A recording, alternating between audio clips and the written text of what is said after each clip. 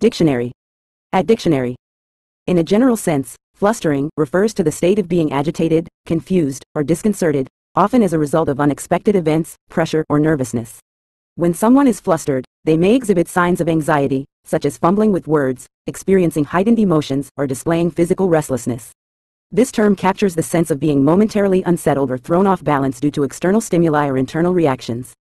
Flustering situations can range from social awkwardness to unexpected challenges, and the term is commonly used to describe the emotional and cognitive effects of feeling overwhelmed or caught off guard.